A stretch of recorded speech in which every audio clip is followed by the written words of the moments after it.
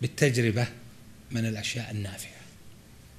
تجربة المشايخ اللي جربوه من الأشياء النافعة وهو سلامة الصدر.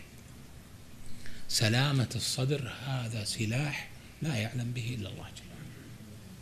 ما له تفسير ما له آه، يعني ما نقدر نشرحه إلا أن يكون هكذا.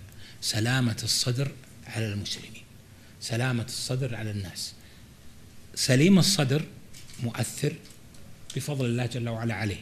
هو من الله جل وعلا بسلامة الصدر ثم يمن عليه زيادة منه سبحانه بالتأثير وبالقبول.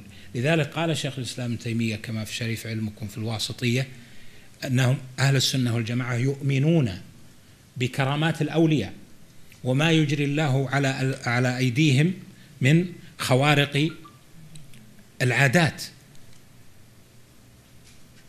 قال أهل العلم في شرحها وشيخ الإسلام بينها في هذا من الخوارق والكرامات أن يكون في تأثير. هذه ما يؤتاها كل أحد يكون في تأثير. نعم الواحد ما يسعى له أنه يكون صاحب كرامة لكن هو يمشي في الأسباب التي أمر الله جل وعلا بها ومنها سلامة الصدر. سلامة الصدر على المسلمين بعامة على أهل العلم على ولاة الأمور على المخطئ على المذنب تتعامل معهم بأمر الله جل وعلا لكن الصدر سليم.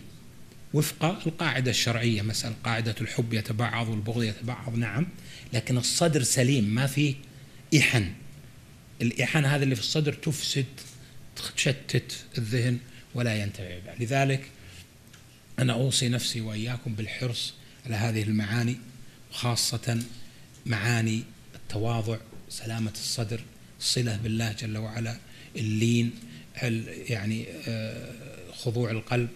لله